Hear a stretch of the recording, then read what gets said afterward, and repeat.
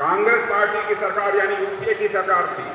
दस वर्षों में उन्होंने केवल तीन लाख करोड़ रुपए उड़ीसा को दिए। लेकिन आपको जानकर खुशी होगी कि हमारे प्रधानमंत्री के मन में इस उड़ीसा के प्रति कितनी मोहब्बत है, कितना प्यार है कि नौ वर्षों के अंदर ही उन्होंने उड़ीसा के विकास के लिए 18 लाख करोड़ रुपया देने का काम किया। कांग्रेस शासनकाल में बराबर उड़ीसा के साथ सौतेला व्यवहार किया गया। है अभी आपने देखा होगा, हाल में ही हमारे प्रधानमंत्री आए थे।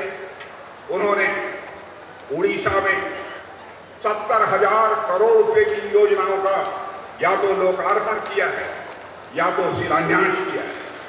यह है हमारे प्रधानमंत्री का उड़ीसा के लोगों के प्रति प्यार, उड़ीसा के लोगों के प्रति उनकी मोहब्बत। इतना ही नहीं बड़े बड़े प्रोजेक्ट कांग्रेस के समय शिलान्यास हो जाता था, लेकिन उनका उद्घाटन नहीं होता था, लोकार्पण नहीं होता था।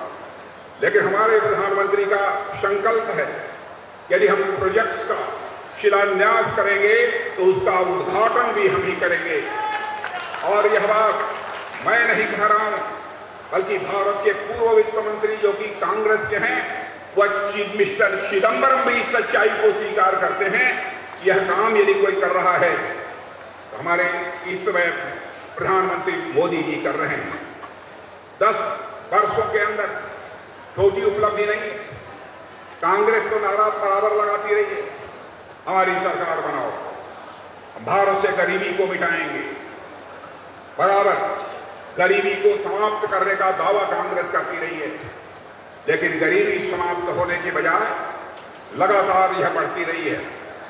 लेकिन आज मेरे कार्यकर्ता बहनों, भाइयों, सीना ठोक कर पूरे दमखम के साथ आप कह सकते हो कि हमारे प्रधानमंत्री मोदी जी ने नौ वर्षों के अंदर ही 25 करोड़ लोगों को गरीबी के संकट से बाहर निकालने में कामयाबी हासिल की है। यह है हमारा भारत, यह है हमारी सरकार। मैं यह मानता हूँ। प्रधानमंत्री हमने भी बहुत सारे लेकिन सचमुच गरीबों के लिए अपनी ज़िंदगी खपाने वाला कोई प्रधानमंत्री है तो प्रधानमंत्री का नाम है श्री नरेंद्र मोदी। मेरे बहनों भाइयों, दस वर्षों में चार करोड़ लोगों को पक्का घर, सारे देश में मुहैया कराने का काम पहली बार हमारे प्रधानमंत्री ने किया है। और मैं उड़ीसा के लोगों को बताना चाहता हूँ, इसमें 25 लाख इस प्रकार के पक्के मकान प्राप्त करने वाले लाभार्थी यदि किसी कहीं पर हैं तो उड़ीसा में हर गरीब के सिर पर छत होगी। और मेरे कार्यकर्ता बहनों भाइयों, आप जाकर गरीब भाइयों को भी यह समझाइए। पूरे विश्वास के साथ बोलिए, यदि किन्हीं कारणों से किसी को पक्का मकान नहीं मिल पाया होगा, सिर ढकने के लिए पक्की छत नहीं होगी। हमारी सरकार बनने के बाद उन्हें हम पक्का मकान मुहैया बना, मुहैया कराएँगे। एक भी गरीब परिवार ऐसा शेष नहीं बचे। क्या कभी कोई कल्पना कर सकता था कि कोई प्रधानमंत्री आएगा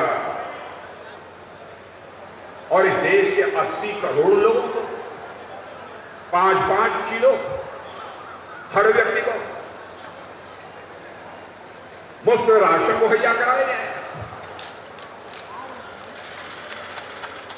कार्यकर्ता बहनों भाइयों, इस प्रकार की योजना न पहले कभी रही है।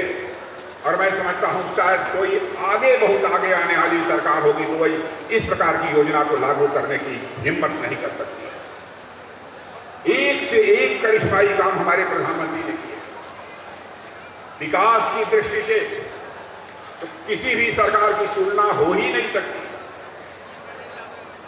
और भारत की हैसियत देखते हुए भारत की यह स्थिति देखते हुए अब सभी यह स्वीकार करते हैं सारे दुनिया के लोग भारत को अब आगे बढ़ने से दुनिया की कोई ताकत रोक नहीं सकती।